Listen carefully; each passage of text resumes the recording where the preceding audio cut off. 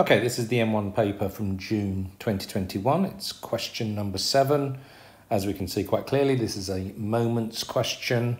Uh, we're going to have a non-uniform beam here. Uh, give you time to read through the question. That's not all of it, just goes down there as well. Uh, but basically, we've got a non-uniform beam. The mass of that's 60. Uh, its length 8a and all the lengths are as they are. Uh, what I need to do first of all then is to draw out a diagram and I draw out my own diagram simply because um, I'm going to have a lot of lengths at some stage on here that I'm going to need to put on. So it tells me that I have uh, a support here and a support here where this is A, this is C and that's a length A there this is B, this is D, and that's a length 2A there. And then it tells me that uh, in the original parts, magnitude of the reaction at D is three times the reaction at C. So what I can do is if I decide to call C the reaction there R, then this one straight away can be written down as 3R. And then this is a non-uniform rod, so I've got my weight acting, and it tells me it's acting where there's a length X there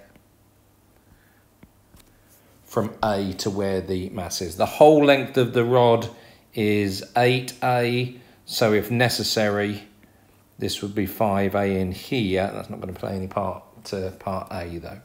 So um, I've got that situation and it says, um, can you find an expression for X in terms of A? So if I've got to find the length of X, I already know what my game plan is going to be here. What I'm going to do is resolve vertically first of all, and then actually looking at that diagram, straight away I'll, I'll be able to work out what R is. And then I'm going to take moments, and simply because it's telling me that that's the length x and that's what I've got to work out. It absolutely makes sense then to take moments about a here because then I'm going to have 60g times x and I'll have r times something and 3r times something. I'm fine with those ones, but in terms of the algebra, it's going to be much easier if I actually take moments about a when I'm doing it. Right, let's actually crack on and do it then. So to explain to the examiner, that's you guys now know what I'm doing. Let's tell the examiner so resolving vertically, I'm going to get that R plus 3R is equal to 60G. That's dead straightforward. And that's then going to give me R is equal to 15G. So that's quite helpful. And then taking moments,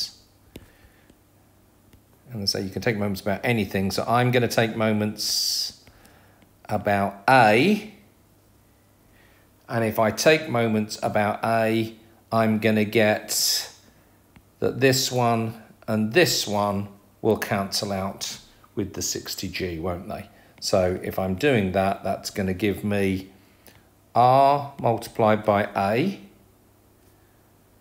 plus 3R multiplied by, well, let's say if this is all um, 8A there, then it's multiplied by 6A there is going to be equal to 60g multiplied by x.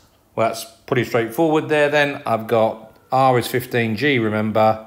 So 15ga plus 45g times 6a is going to be equal to 60gx. Well, there's a g in everything there, so you can cancel all those g's out if you want uh, but x just works out to be, rearrange it all, 19a over 4. So go back here and understand now that that's, whoops, that's going to be 19a over 4 when I'm doing the rest of the work. Okay, I'm not going to put that on my diagram though because that'll confuse the examiner. Right, part B then says uh, a box of mass M is now placed at E where AE is equal to 2A. So we're going to have a box put around about there somewhere. Uh, magnitude of the normal reaction between the C is now equal to D. So these are now going to become R and R here. Um, and it says by modelling the box as a particle, find the value of M. So realistically, it makes sense to me now, time-wise as well, to just draw out another diagram. It's not going to take me ages to do these diagrams. And hopefully, as you've seen from that first part, it's really important when I'm drawing these things out that I have nice clear lengths and everything else measured on as we're doing it so I don't make any mistakes with my um, taking moments, uh, etc. So we've got that A, that length there was A, uh, this was C, and now in this one here, we've got that that's R, and that's going to be R there as well at D. This was still 2A here, and we've got a weight of mg acting down here where that total length is 2a, so that's a and a here. And then if I've got my 60g, now remember, all of that length there is 19a over 4. So if you do 19a over 4, take away 2a, that means that that length there works out to be 11a over 4. So as I said to you, really, really important, put my B on, really important that I get a nice clear diagram now because hopefully this will all be fairly straightforward as I'm actually going through and trying to work this out now.